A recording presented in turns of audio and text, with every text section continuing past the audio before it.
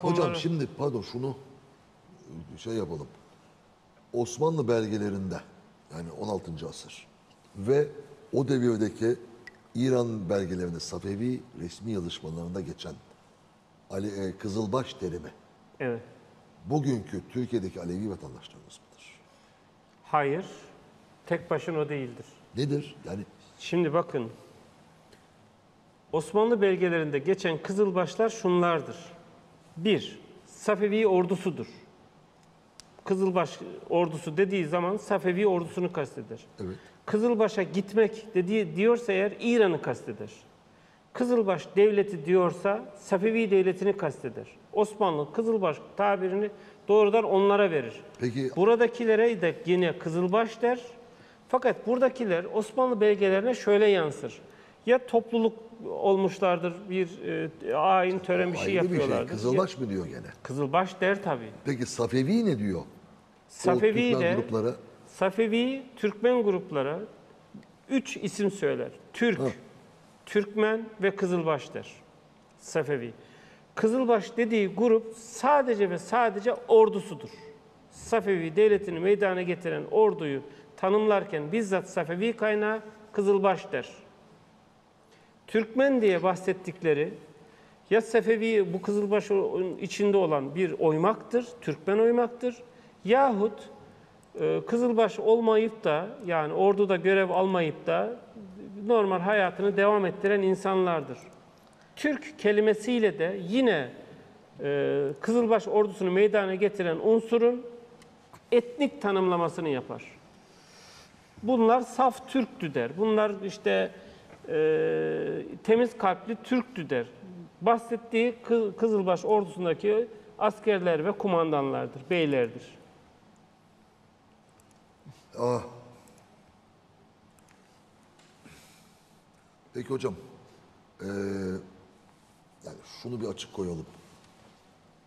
Bütün o eski Osmanlı belgelerinde ve Safevi belgelerinde geçen asker dışındaki Kızılbaş tabiriyle Kızılbaş olarak kastedilen halk, sivil halk, Sivildir. evet. bugünkü Alevi vatandaşlarımız mıdır? Türkiye için doğrudur.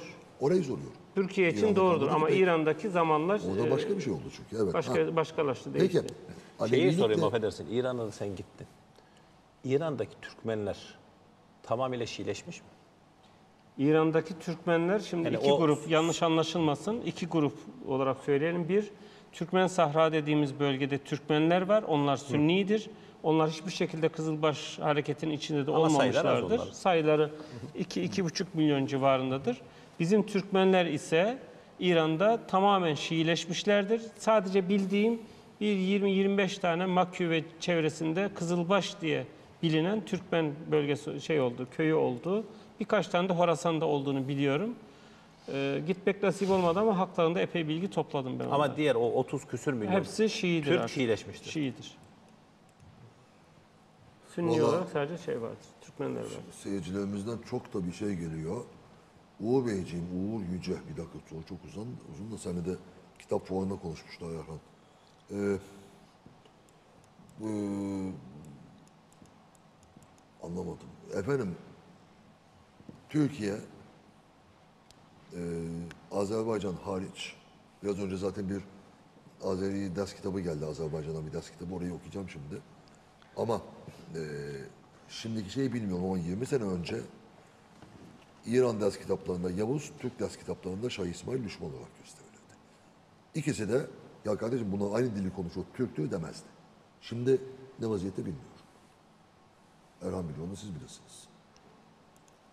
Ee, Belki yine düşman gösteriliyor. Hala mı? yani belki tahkir edici ifadeler yok ama şöyle 90'lı yıllarda Türk dünyası bağımsız olduğu zaman 2014 diyeceğim. 20 hayır hayır bak 90'lı yıllarda. Ben o zaman ilk verdiğim konferansta bir demeçti dönemin basına da yansıdı. Ya, bak ben kendi açımdan baktım. İlk yapılacak işlerden birisi ders kitaplarının değişmesidir diye. Bu maalesef yapılamadı. Çünkü bu Timur için de geçerli. Kırımlılar için de geçerli. Şah İsmail için de geçerli. Şimdi tarihteki hadiseleri tarih Bir dakika Timur için geçer. Timur için geçerli, Şah İsmail için geçerli, Mısır'daki Memluklar için geçerli, ee, Kırım'daki Türkler için geçerli. Yani birçok hadiseler var tarihte. Şah İsmail'in Safevi devleti Türk devleti mi? Safevileri Türk devleti. Niye Fors'ta? Ama biz e, Fors'ta niye ya yok? Fors, Fors'ta olan Moğol devletleri de var. Ben onu bilmiyorum. Niye alındı, niye alınmadı. Buradaki mesele şu. E, bakış açımız tamamıyla Osmanlı dönemindeki bakış açısının aynısı. Şimdi Şu anda. bu şu an tarih kitaplarında. Yani Osmanlı'nın gözüyle bakılıyor. Şimdi Osmanlı'nın zamanında o bakış açısı Osmanlı'ya göre normaldi. Safevi kaynaklarındaki bakış açısı da Safevilere göre normaldi. Fakat günümüzde farklı bakılması lazım. Şimdi Şah İsmail Osmanlı'nın düşmanıydı Osmanlı döneminde. Ee, Yavuz da Safevi Türkmenlerinin düşmanıydı. Ama günümüzde bunu farklı açıdan bakmak lazım. Yani bu hem İran Türkleri için geçerli. Çünkü bugün e, dünyadaki her türlü e, grup için, azınlık için vesaire için çeşitli hadiseler yapılıyor. İran'daki 30 küsür milyon Türk'ü hiç kimse görmüyor.